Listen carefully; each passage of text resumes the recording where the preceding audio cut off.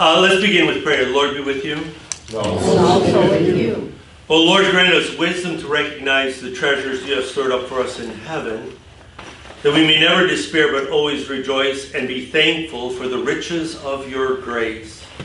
Through Jesus Christ, your Son, our Lord, who lives and reigns with you in the Holy Spirit, one God, now and forever.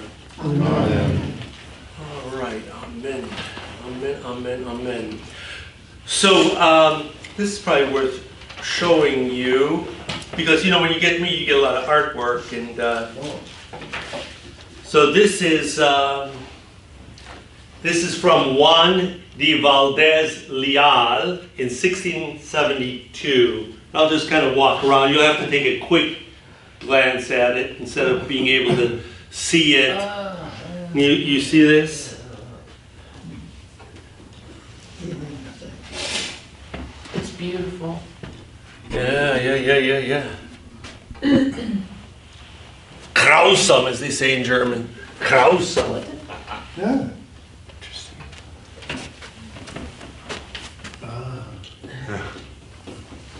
You gonna- you gonna explain it to us? I am going to explain it to you. First of all, uh, the the title in Ictu Oculi. Again, for those of us who grew up with the old hymnal, we remember that we used to have Latin names for Sundays, Yes. right? Do you remember that?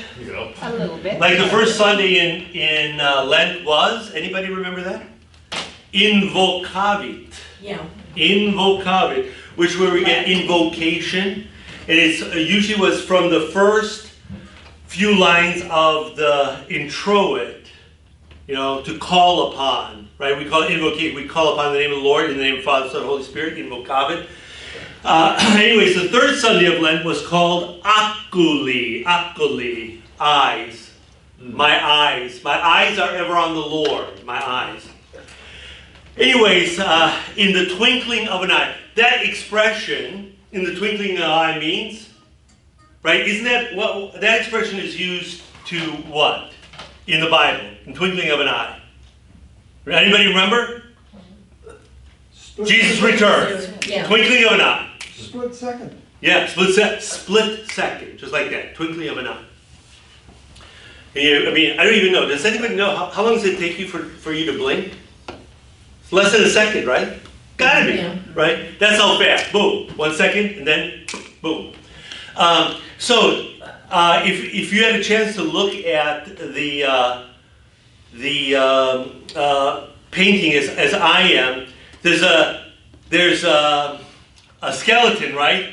And he's holding a coffin, and in front of him are all sorts of papers, and you know he's even got a foot. Uh, his left foot is on a globe. He's all of these sort of richest thing, and in the twinkling of an eye, it was all Go on. gone.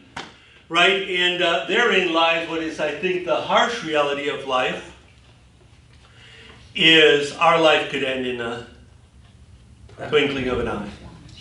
All you have to be is on freeway, boom. Somebody makes a mistake, you make a mistake, twinkling of an eye, boom.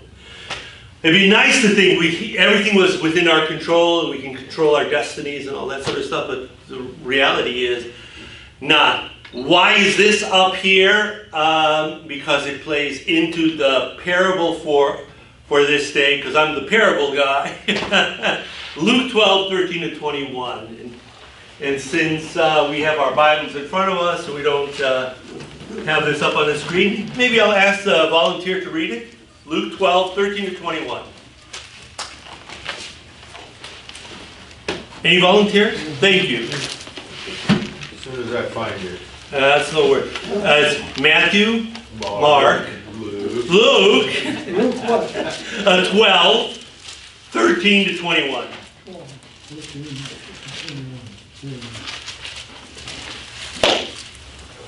Twelve. Okay. Whenever you're ready. The parable of the rich fool.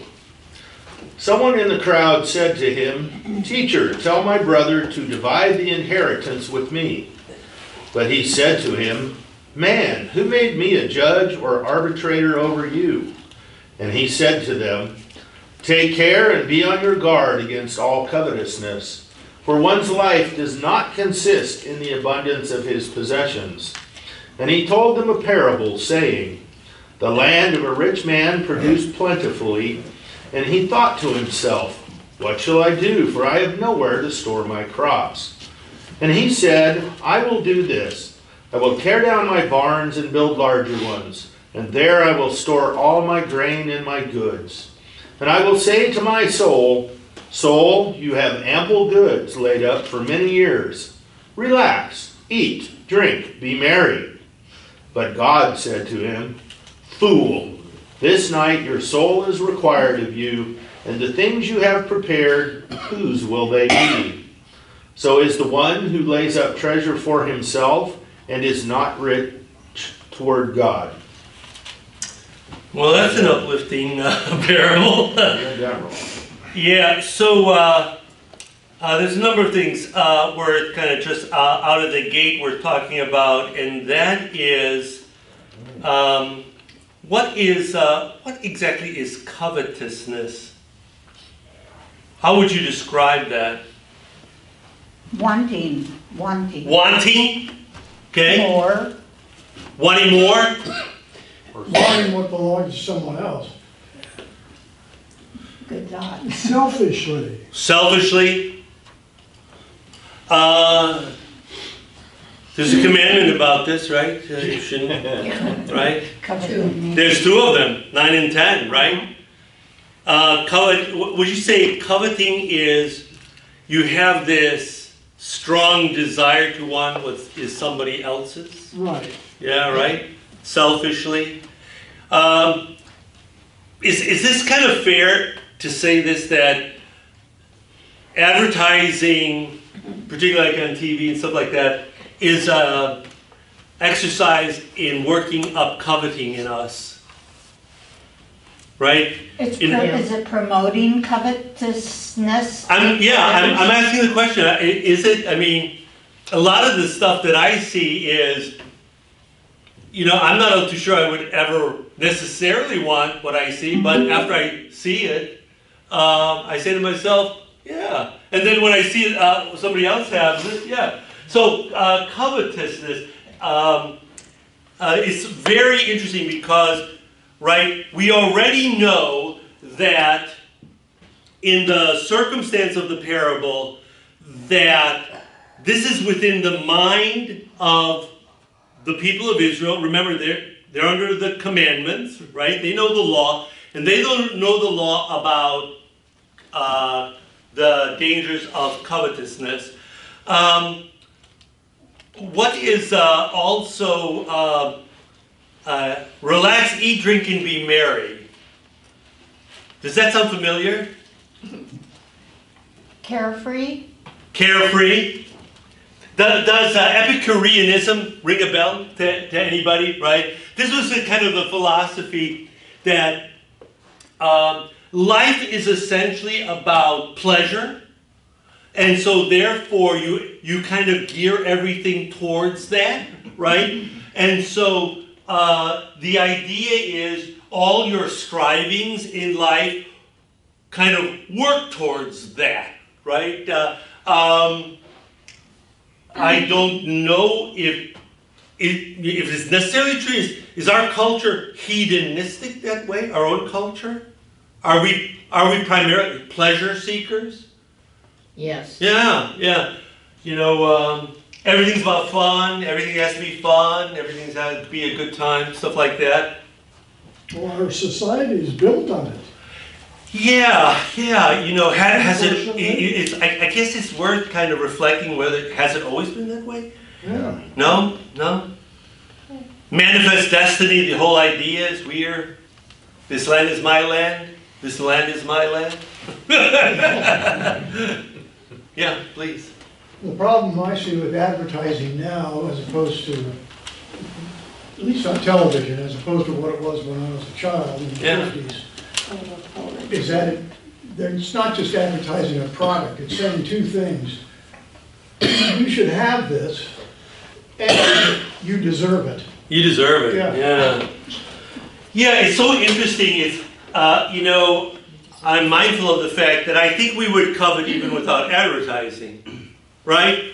Because they didn't have advertising. It's not like, you know, Jesus walking along the road, right, from uh, Galilee to Jerusalem, all these billboards are up. Uh, yeah, no, you didn't have that. Coveting is still part of that. And, and you can covet a lot of things. This is kind of a tough, hmm, if you ever, like, I used to teach confirmation class, you got junior high kids, and that's a tough gig, dude, right? Because what is it? Man, it is hard when you're not as fast or strong or smart or popular. It's, you know, the things that really, you know, this kind of this aspect of, of desire. And one of the difficult parts of life is where, you know, there's a place for us as well. You know, like I think even this whole body shaming thing, right, is is kind of connected to the fact that we want to say to people, you have to look a certain way. You have to be a certain kind of person, in other words. And, you know, we have to realize that the kids that we see in front of us, you know, we we might have an Einstein, but eh, most of us are going to be just kind of ordinary. Life's okay to be ordinary, right? Jesus loves you if you're ordinary. He's not going to hate you if you're ordinary. If you can't return a 110 mile serve, Jesus still loves you. If you can't hit a 110 mile serve, Jesus still loves you. You won't be able to win, but you can still do it. Mhm, Please. Um, covetousness started in the garden. Oh, yes. That's a very good point, by the way, right? Uh, this whole idea, isn't it? The temptation is be you like can, him. yeah, and this is something to be desired, right? And uh, yeah, I've often kind of thought about that, right? Satan brings into the garden already the agenda. Absolutely, very good point. All right, um, let's uh, let's move on here. Um, I have these notes in front of my. Uh, most people go through life with a series of goals in mind.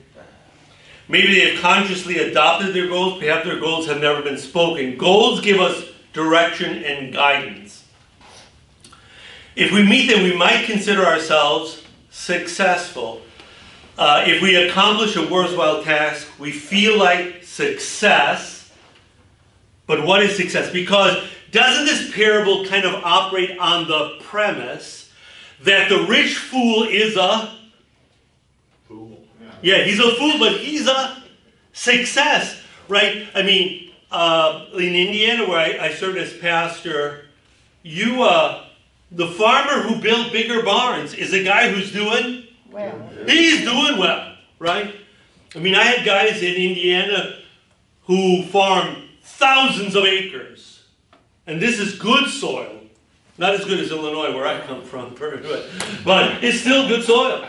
And um, uh, so these are the guys you kind of look at. This is this is this guy is a success. And uh, by the way, this is also something that's part of the fabric of our of our culture. Is we like winners, right? Nobody remembers, right? Um, you follow basketball? Yeah. Yeah. Do you remember who won NCAA men's basketball last year? Who won the tournament? I don't follow that close. Ah, yeah. no. Don't let him pick your butts. Uh, was UConn, right? UConn. yeah. But you know, uh, there are 64 teams. Who remembers most of them, right? No, nobody. But the winners. Who won? Who won the Super Bowl this year? Chiefs. The Chiefs. Not 49ers because they got robbed. What? no, Chiefs won. They won fair and square. Um, and uh, baseball. How about World Series? Who won World Series last year? Rangers, right? Rangers. Very good. So in other words, uh, it invites. Uh, we are we are a culture of, of success, and maybe most cultures are success, right? Uh, but the, the question is is sort of what what what is success? Uh, I have by uh, this um, guy by the name of uh, H. Jackson Brown, and he has 21 suggestions for success. See how this this uh, what you think about this. Marry the right person. This one, this one decision will determine 90% of your happiness or misery. Have to ask Jean how she feels about that. Work at something you enjoy and that's worthy of your time and talent.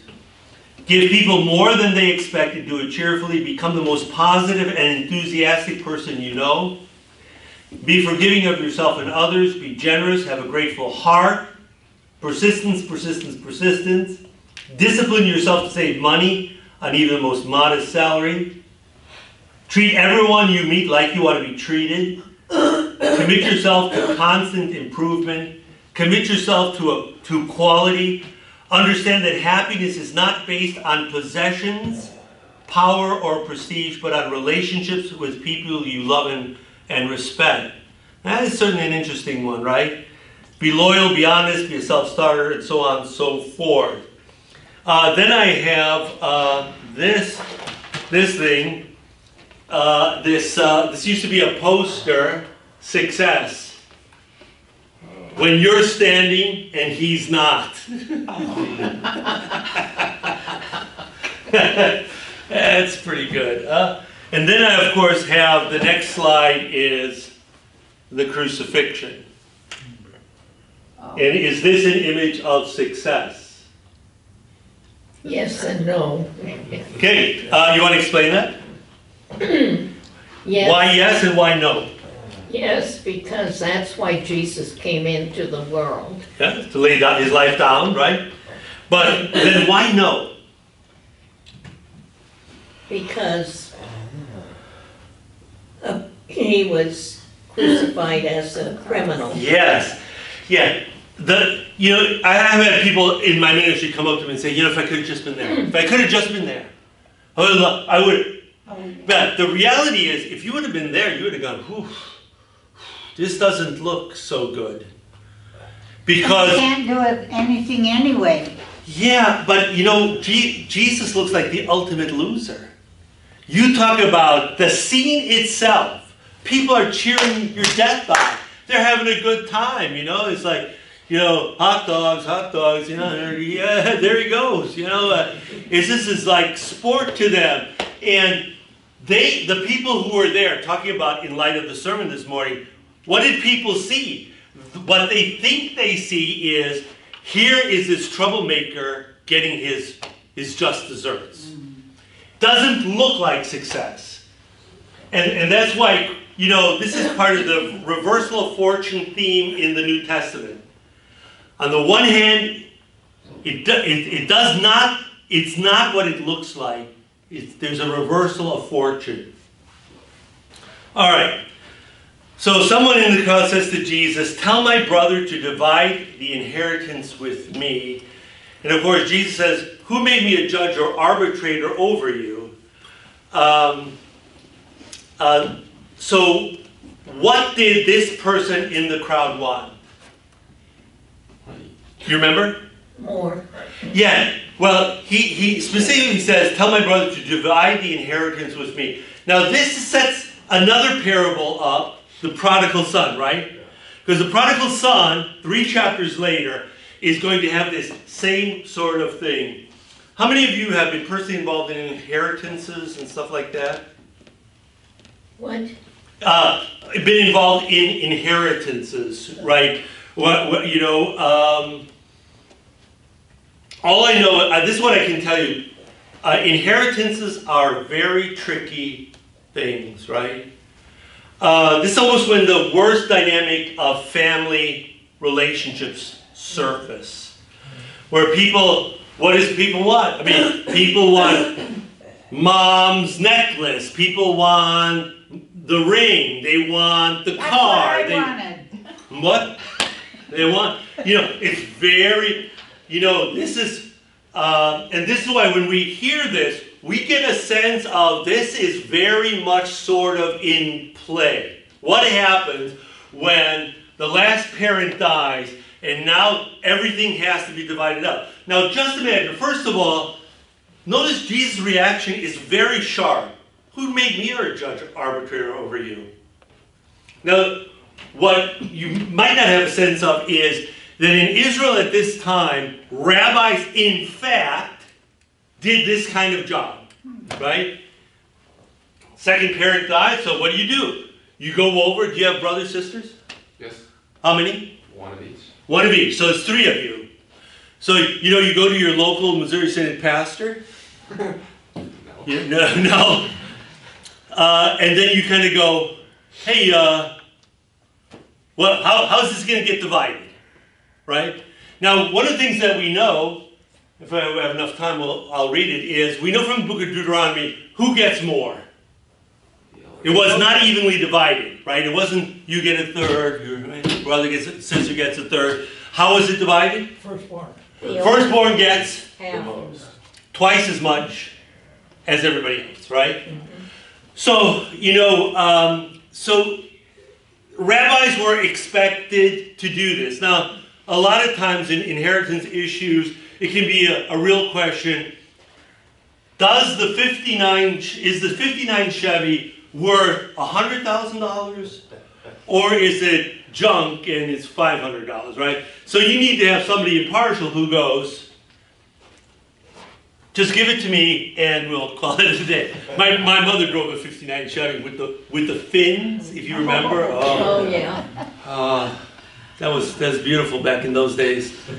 They were wings, not fins. They were wings. Yeah, you really, if you go fast enough, you could just lift off. so um, rabbis were supposed to sort of do this, but Jesus kind of go.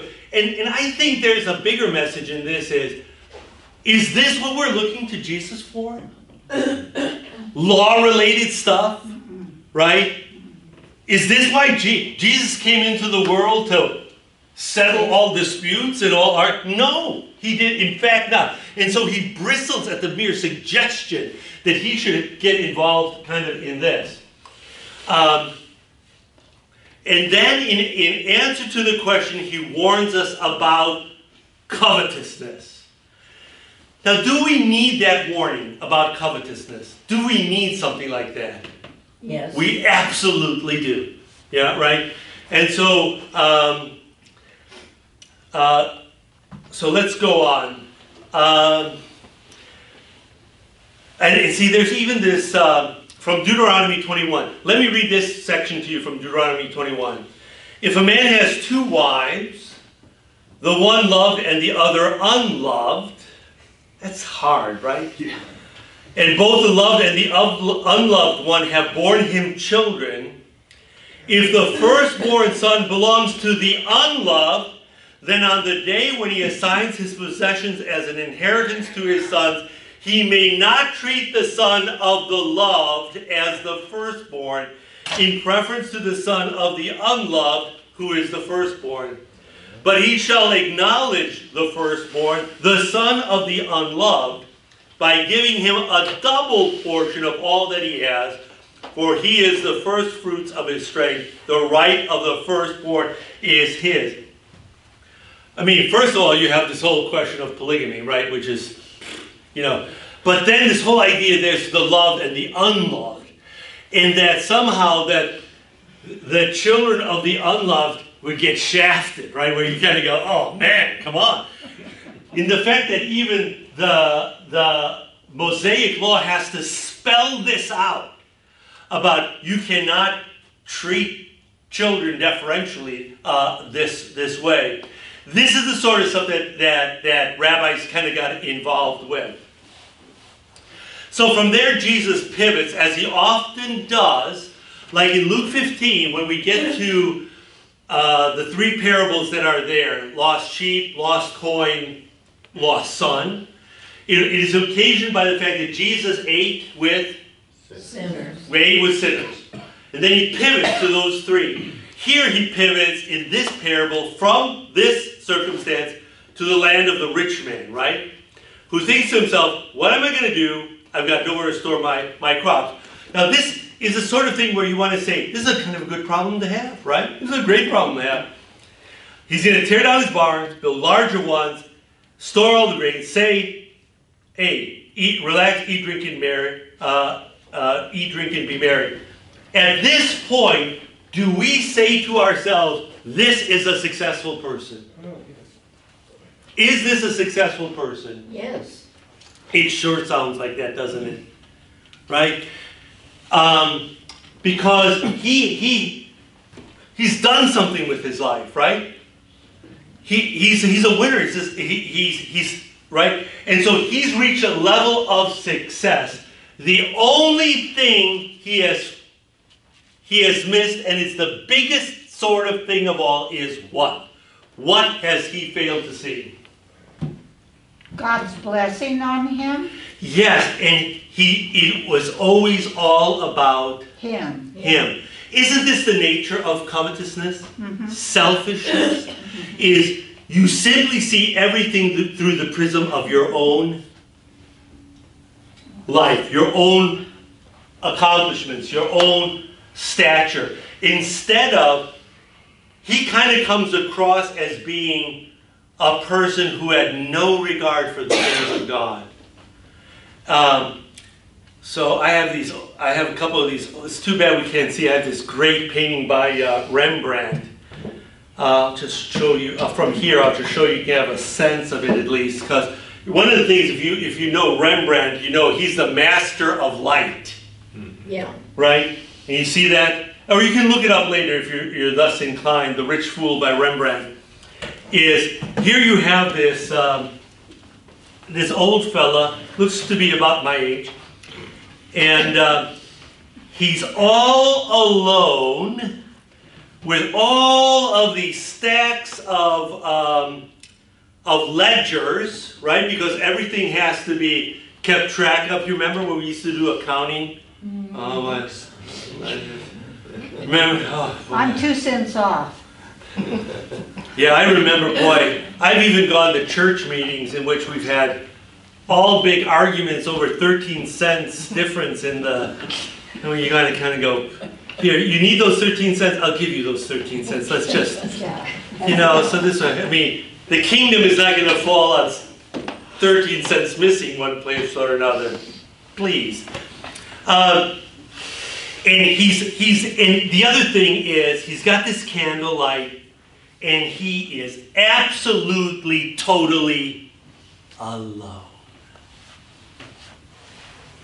That's what this kind of, because imagine the circumstances of the parable that Jesus tells, and the thing right before it is when you have to go to war with one of your relatives, one of your brothers or sisters, over what you're wanting for yourself as an inheritance, you can pretty much guarantee that this family is Broke. broken, busted.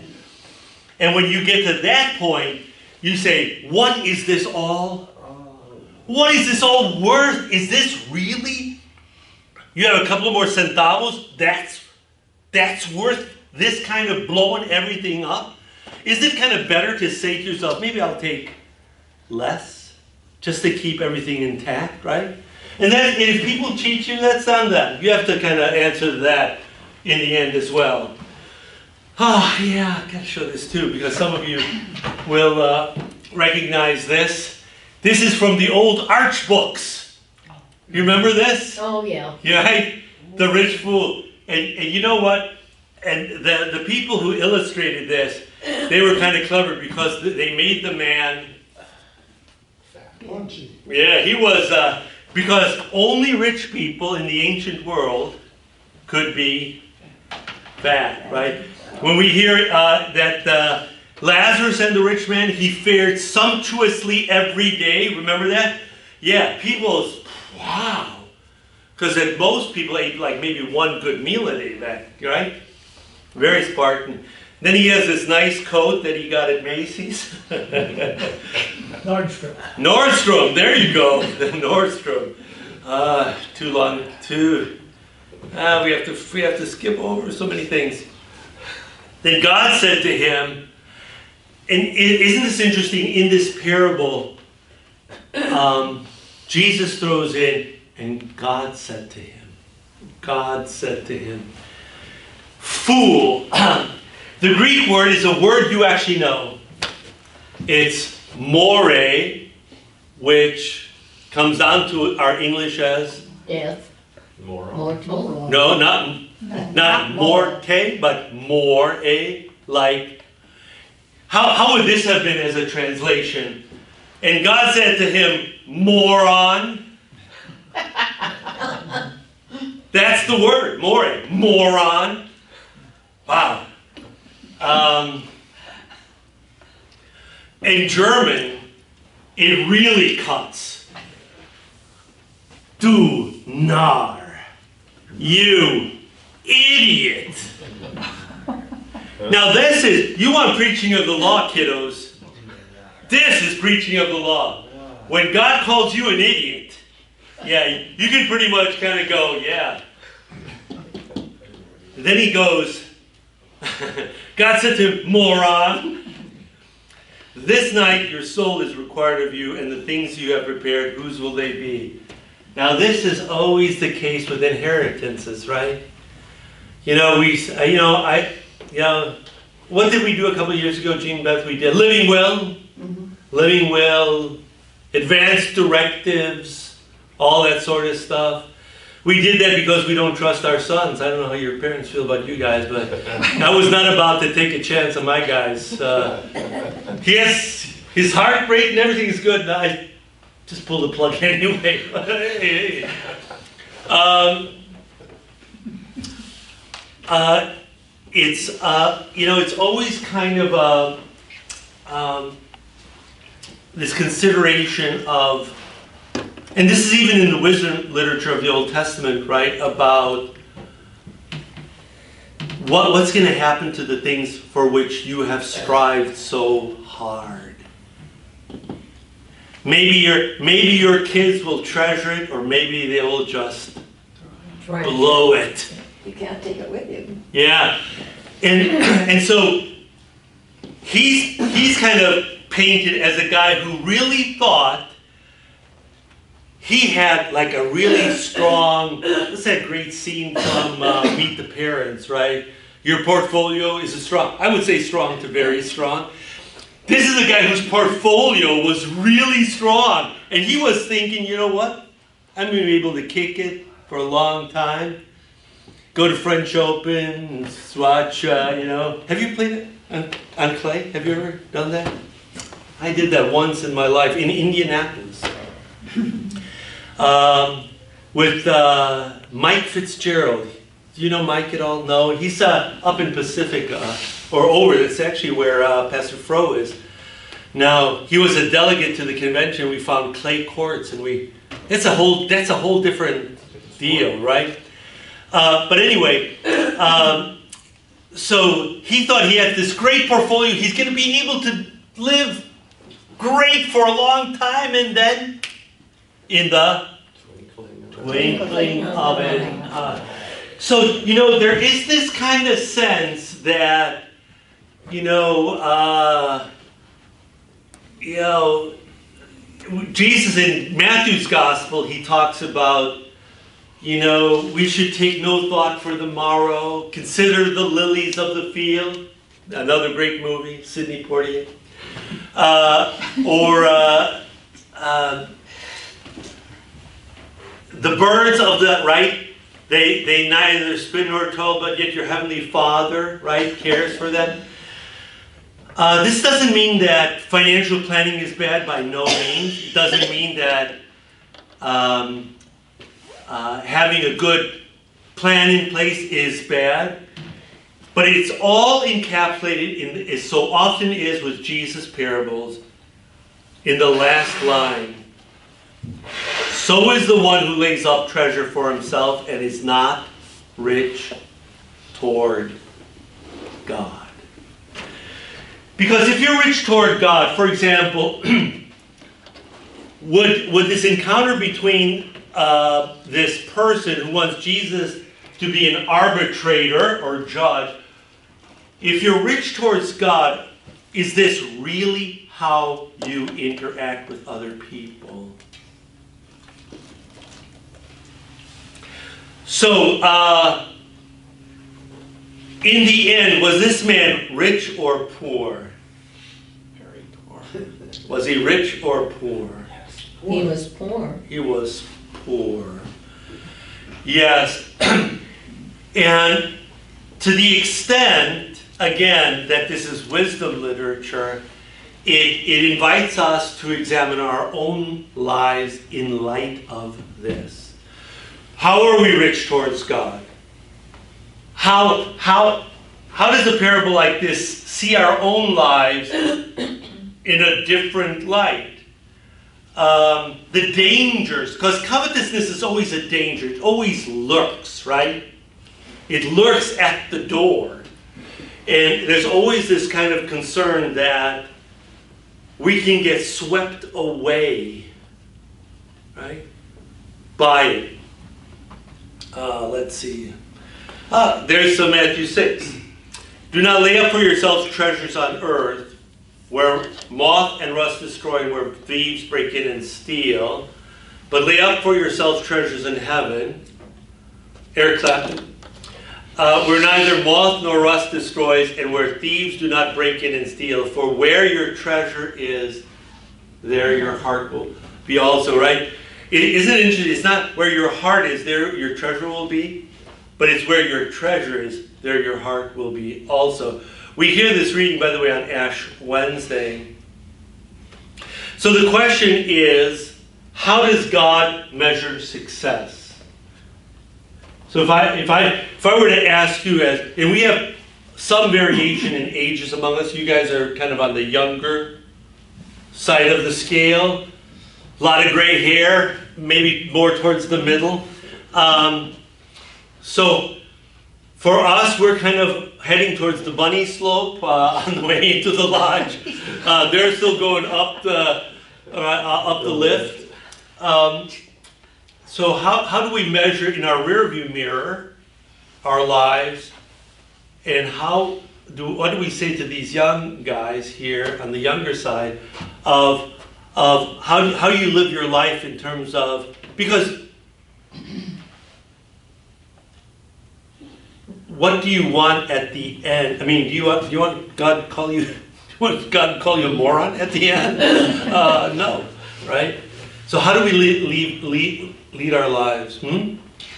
I have a thought, the pictures that you showed with the light on the pictures, hmm I think that's how our relationship um, to God, um, that others see is that the, how we are, is that the light is not shining on us, because we didn't do it. Yeah. The light is shining on God and what He has done for His people. Yeah. Does that, Yeah. You, no, I think. Um, what What do you want? Too much is given, much shall be expected. Right. So, I think a lot of times in life is, and, and this is the idea of even of um, stewardship. We're all kind of stewards of our of our of our lives, right? So, in the stewardship of your life, to what extent do you say to yourself, you know, you know what I really cared about in my life? I cared about myself. Uh, yeah, well, yeah, that's when, and you end up hearing stuff from God about. Uh, but it's it's really kind of an en- encompassing kind of view about your life, not just the stuff that you have or own or possess or will be able to leave behind for your inheritors. Is actually kind of in the bump and grind. You know, is is it is it good to find time to play tennis? Sure it is. Sure it is, right? Um, is it good to play golf? Not when uh, you play golf like I do. What? No. um, depends. uh, but um, it's also good to find time to pray, read scripture, do devotions, right? Go to church. Uh, I think the optimum word that we have in all of this is love. Hmm. Sure. And God's great love for us and what He's given us. And if we reflect that love, I mean, can you imagine what this world would be like? Yeah. Yeah, I, I think this is um, certainly this should be seen in this light, right? To the extent that we're all sinners, we all kind of go, yeah, I come short of the glory of God, right?